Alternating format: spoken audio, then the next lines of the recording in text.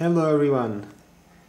Um, first of all, let me start by saying that I am quite sorry because this will be a bit of a shaky video. My tripod, unfortunately, is missing a piece. Be having a uh, cluttered snake room, I'm usually missing one thing or another. So, unfortunately, I cannot use my tripod. But here we have a very special guest in the snake room. And I wanted to get something that I can basically pet. Um, you know the black-headed pythons are alright but you never know what they're gonna do and the venomous snakes I can only tail so I said hey let's get a ball python. And lo and behold I have found a very beautiful snake available locally and here we have a champagne fire ball python. Now I'm gonna get comments from people saying that look that's not a champagne fire that's a super fire. And that's exactly what I think as well. But the breeder is very reputable and he showed me the parents of the snakes. Um, one of them was a clear champagne and the other was a clear fire. So unless there's something going on in there this is supposed to be a champagne fire. But it's way too white with no pattern. So who knows, maybe there are a couple other genes going involved in there. But to tell you the truth, I do not care much. This is a beautiful white ball python and this is what I wanted. And she is getting a bit dirty inside the cage um, as I have natural elements in there and you know they kind of stick to her or just color her etc but normally she's pure white with a beautiful purplish head. And now she's feeding on a mouse.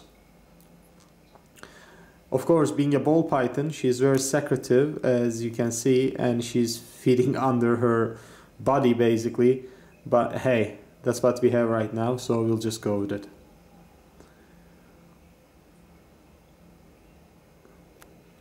For people who don't know what this is it's a ball python python regius coming from Africa. It's probably the most popular reptile pet.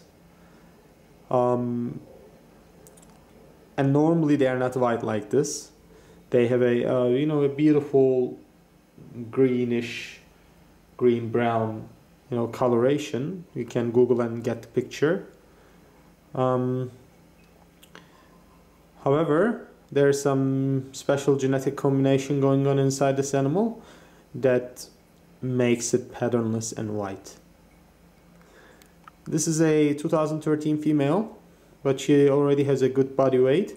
She's been only fed live mice before she came to my place but I have managed to switch her to frozen and thawed quite simply. Um, basically I just fed her at night and warmed up the prey item very well so she didn't know it was live or dead for a couple weeks and now she is feeding under light as well as you can see. For snakes who have pits the pits that you can just see now. Um, they are very easy to switch to frozen and thawed in my opinion because you can get a prey item quite warm and at night it will just shine up to them. So they will just go for it.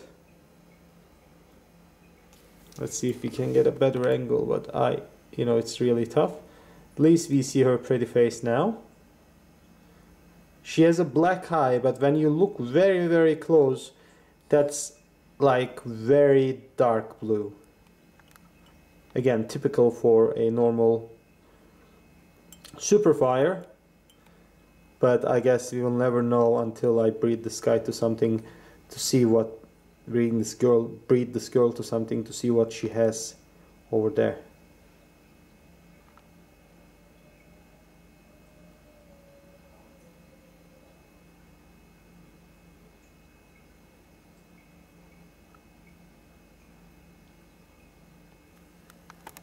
Uh, she's putting down that mouse nicely.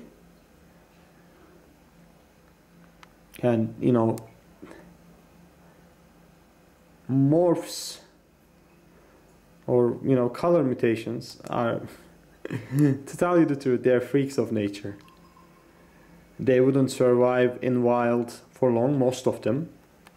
Of course some survive that's why we have them but like if you had a, a white snake it will be an easy prey because she cannot camouflage herself. But